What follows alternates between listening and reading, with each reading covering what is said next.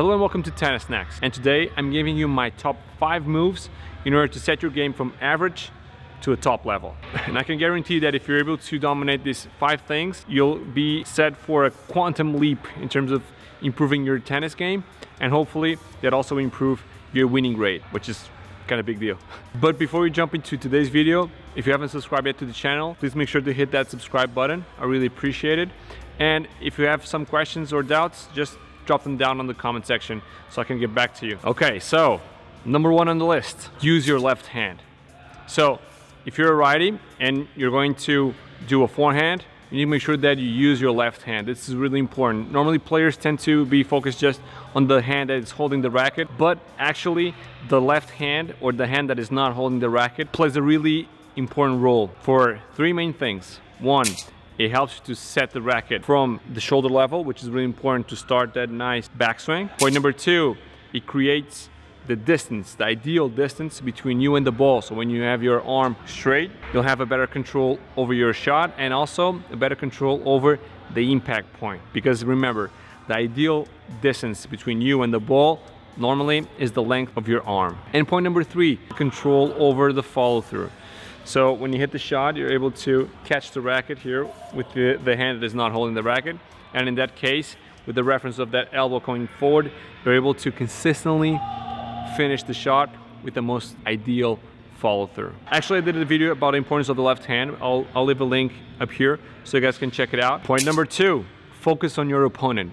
Sometimes players are just too focused in what they're doing and what they're trying to achieve, but remember tennis is about information. It's about being one step ahead. And if you're not focused on what your opponent is doing how do you want to be ahead? There's no way around it. So make sure that you can interpret his body language that you interpret the way that he sets up his shots and try to read the ball from your opponent. Make sure that you connect with your opponent and you just focus more in what he's doing so that you can start being one step ahead. This is very valuable, especially when you're in a match, because here's the deal. If uh, he misses a certain shot and he shrinks his shoulders or he nods his head, it probably means that you hit a sweet spot there. Either if it's a backhand or, uh, I don't know, or it's like a short ball where he can really get to the ball in a timely fashion way so he can hit, hit the, a proper shot. Well, you guys need to figure out because throughout the game, your opponent is going to give you multiple feedbacks and that data it's really important for you guys to try and make the best possible decisions point number three the jump step or as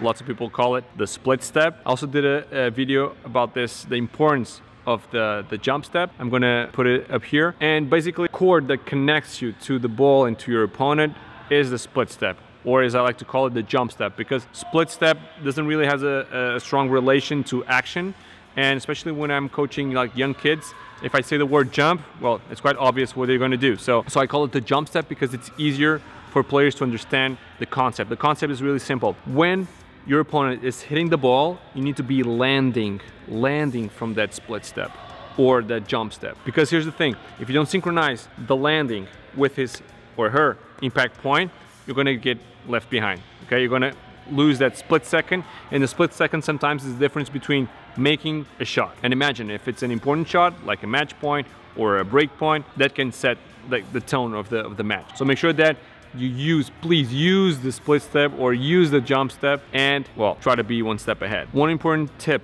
is that normally players are just too flat footed. Try to make sure that you can lift your heels up so that you can improve your reaction time. Reaction time here it's crucial, mainly because once again, if you're playing at a higher pace, higher level, and the balls are coming really fast at you. If you're not on your toes, it's really hard to react in time. Okay, okay, moving down the list, we have number four, learn how to stop. This is something that is probably one of the most valuable lessons. It's, it's really important to know how to run and to know how to reach to certain balls, but the most important thing is knowing how to stop you need to know how to stop. And knowing how to stop requires lots of technique and I'll make sure to do a video in the future and let me know if you guys are interested in learning some techniques in um, how to improve your, your stopping position because that'll be really crucial to improve your game. You guys need to know how to stop. Why is that? Because when you're going for a striking zone or when you're going for a certain shot, if you're still on the move, you're gonna hurt one really important thing, which is the spacing between you and the ball. And if you're really close to the ball, you really don't have a lot of room to bring the racket forward. So if you don't have a lot of room to bring the racket forward, you're gonna hurt your composure. And if you're changing the composure of your shots, well, guess what? Your shots aren't going to be that good. As once Agassi told us in his autobiography Open, which I highly recommended. It's like one of the best pieces of literature. Highly recommended. It's a, a beautiful book because it really captures what the player is feeling, especially tennis players, because well, we're alone on the court. We don't have any pros like coaching us during the match. We're just out there in the arena. So uh, I highly recommend it to all you guys out there to get that book, which is really, really good. Power move number five.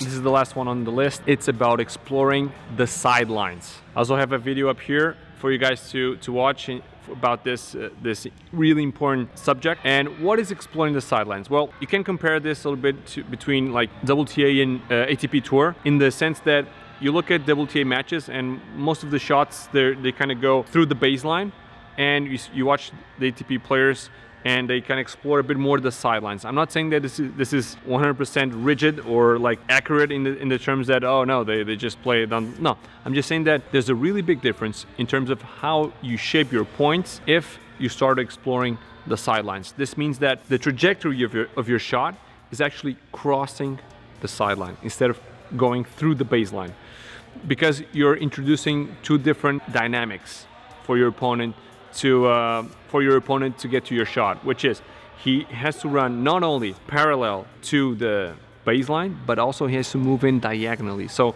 introducing this different um, angle of, of movement to your to your opponent will create one really important thing, which is open spaces. And basically what you want to do is to make sure that you can pull your opponent out of the court so then you can explore the empty sides of the court. So first, step number one will be explore the sidelines so you can put your opponent out of the way and then try to go to the empty side of the court. Okay guys, this wraps up my top five power moves in order to improve your game.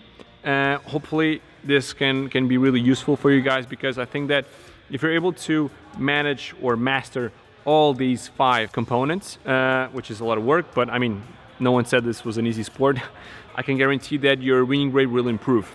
And what's important here is to become a top player. You want to get detached from all the average tennis players. You want to be in that quantum leap, okay? You want to be like the player that has no ceiling.